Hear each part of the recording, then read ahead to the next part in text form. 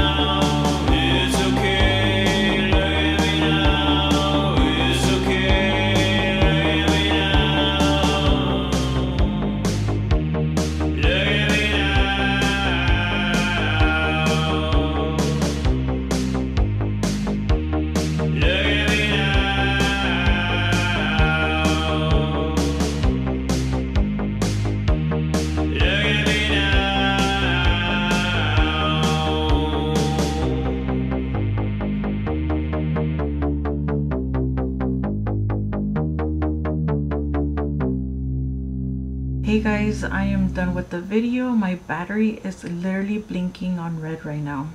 So let me make this quick. On the lips, I use, um, sorry, I'm wearing some aligners and it has lipstick on them. On the lips, I'm wearing Death Cherry from Mel Cosmetics. Uh, my my first favorite uh, Mel Cosmetics lipstick is the Immortal one. Which is right now. I need to go buy a new one.